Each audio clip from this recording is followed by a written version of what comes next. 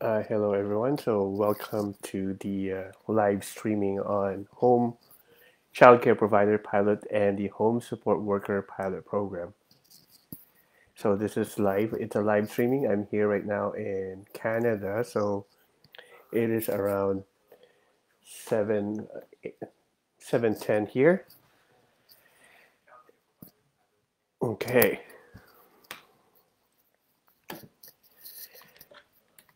So your guest speaker is myself. Again, it's uh, my name is Israel Roman, and I'm a licensed Canadian immigration consultant and a practicing registered nurse as well here in Nanaimo, British Columbia.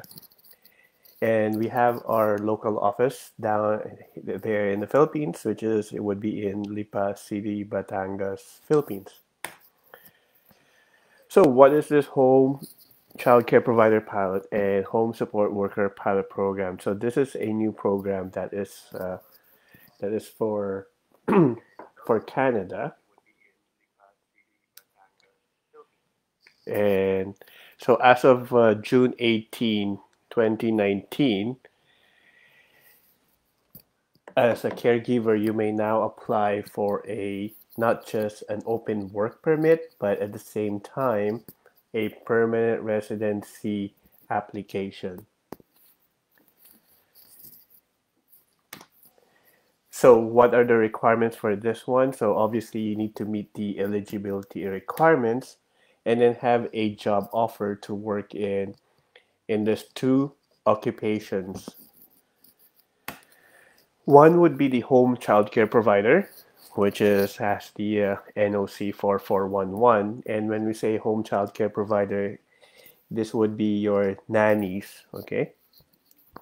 So I think every all of our viewers are Filipino, so I'll go ahead and present this one in Taglish so that it would be uh, easier for me to explain.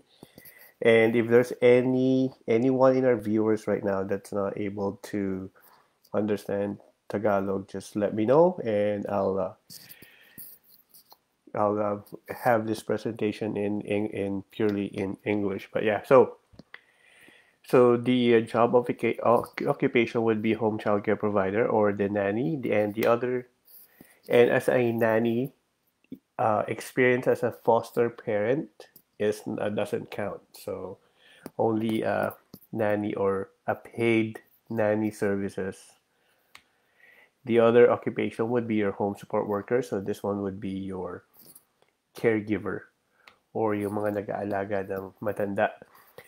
But as a housekeeper, that one uh, housekeeper is not included on this home support worker. So so kailangan lang is your offer, your job offer is either a nanny or a uh, support worker or caregiver for an elderly. So through this pilot program, so before before this pilot program, before June 18, 2019, uh, yung mga caregiver, they can come here as a worker, so with a work permit. And then once they're here as a work permit, they have to uh, finish two years of working as a caregiver and then after completing their two years of full-time caregiver occupation, doon pa lang sila pwede mag-apply for permanent residency. so for this one, for this program now that was implemented last June 2019 for five years, what the the difference is that now when you apply for this one, you are getting two, you're submitting two applications at the same time.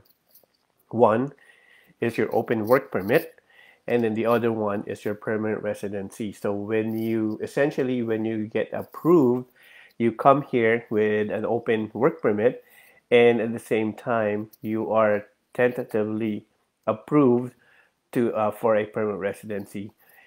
Uh, you only have one requirement that you need to accomplish or fulfill, which is your two-year resident, two-year occupation here. Once you have completed the, your two-year of occupation as a caregiver here, then uh, you'll get your official status as a permanent resident. So now, as I've said, it's an open work permit, meaning to say, when you come here, before, when you come here under the work permit, you'll see on your work permit that you can only work as a caregiver and at the same time only for that for that particular employer. Now with this new program, when you come here, he, it will only specify, it won't only uh, say in your work permit that you can only work as a caregiver, but it doesn't say that you can only work for a particular employer. You can work for any employer as long as it is under uh, as long as it is under the uh, caregiver occupation. so yeah, so is occupation res- restricted? So yeah, so if you come here as a nanny, you can only work here as a nanny, but again, you can change employers. you can change employers without having to apply for a new work permit because you already have an open work permit and your employer doesn't need to have a labor market impact assessment so that is good news for the employers here that's lesser lesser expense for them and at the same time it's now it's uh it's quicker mas madali na siya and lets you get to work experience you need to be eligible for the permanent residency so yeah so once you're here, again, once you're here on an open work permit, you just need to complete your two years of uh, working full time as a caregiver. And then after completing that two years, then you can uh, get your official permanent residency status. So, applying for a new work permit. So, as of again, as of June 18, 2019,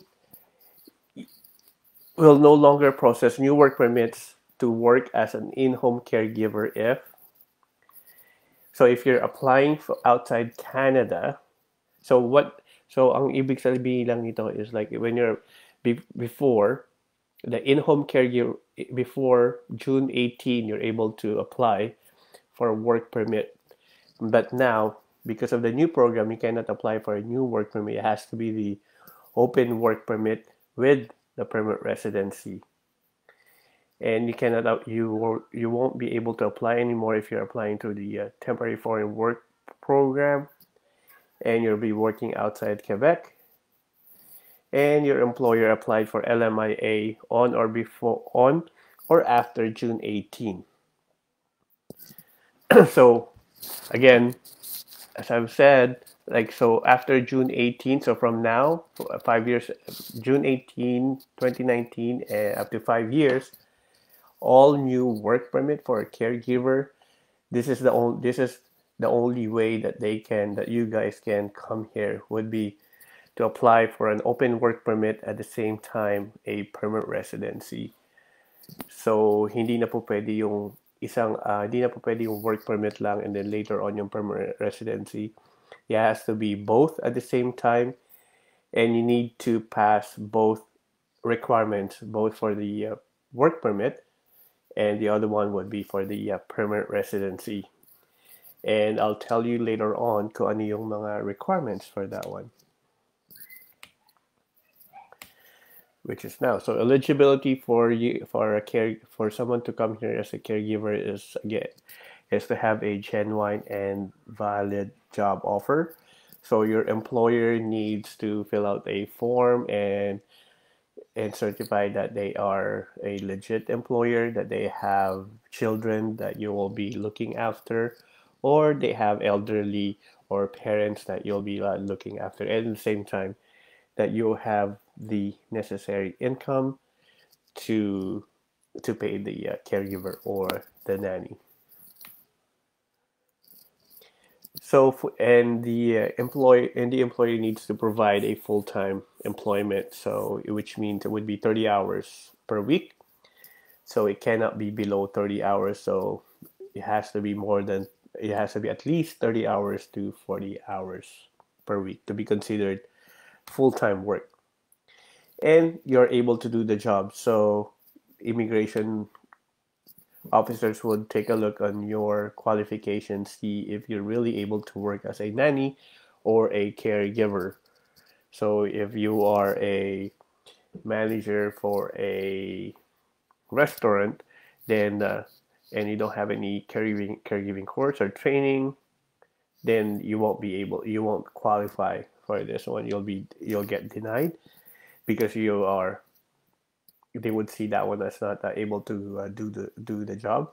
You might have yeah you might be a manager, but it's not really for a caregiver or a nanny. So you need to have a caregiving course, training or equivalent. So equivalent could be, let's say you are a graduate, a nursing graduate, then that would be uh, something uh, that would be equivalent for for this one you have to meet the uh, language level, which means uh, your CLB or the benchmark would be for reading would be 4.0 and then the rest listening writing and speaking would be 5.0 so it's not that high so i don't think it would be a problem.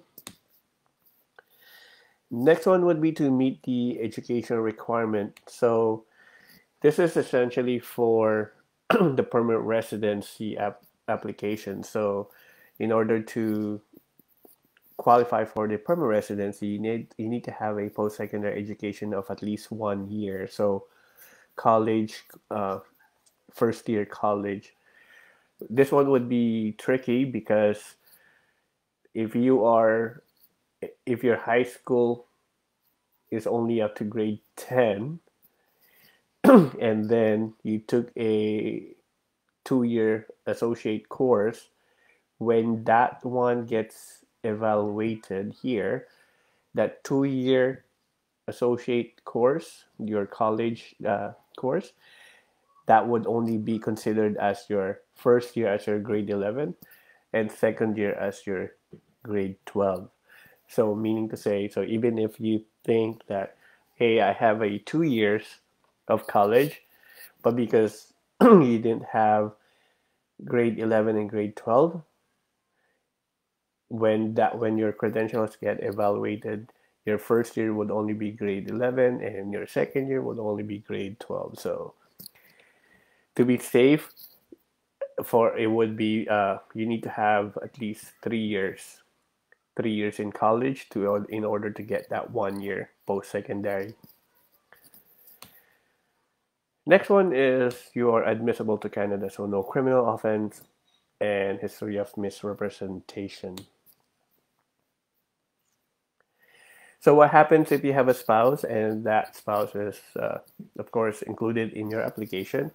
So your spouse will now get an open work permit as well. But the difference between your open work permit and your spouse's open work permit is that your spouse's open work permit is, is really open as in there's no restriction to the work and employment and employer. So your spouse can work anywhere. And then for your dependent child, this would be a study permit for your dependent child. So, how much is the uh, ongoing wage uh, right now or salary right now? So, for a home support worker or the uh, caregiver, which is the NOC 4412, the median wage for that one here for Canada is $16.50. While as a nanny, the median wage is $14.11. And you'll see the so the low and the high right there. So yeah, it could go as low as for the caregiver, 12.50 90 11.32 and it could go as high as 24.50 and 20 dollars. So let's look at the wage sample computation. So how would that this one look like then? So let's just say that you are working $12 an hour for 40 hours. Sorry that's the missed the s on that one. 40 hours per week. That would give you $480 per week so 40, $480 per week times four weeks per month, that would give you 1920 per month. So 1920 per month times 12 months in a year, that would give you 23,040 for a year. So that's in Canadian dollars. So for our Filipino viewers, if we convert that one to Philippine peso right now, 35, 35 peso is one dollar, so that would give you eight hundred and six thousand dollars, eight hundred and six thousand pesos per year.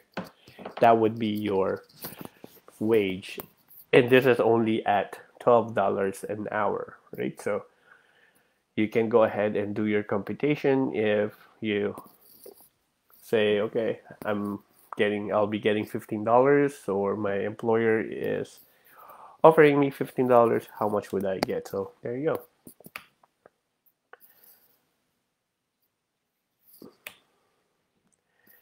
So for the visa fees, so you have your application processing fee of 550 and then your your work permit application of 155 and then your open work permit holder uh, fee would be $100 and then you have your biometrics as well which is 85 and then if you have your spouse I mean your dependent child then that would be 150 for your dependent child and then for your spouse, that would be another 550.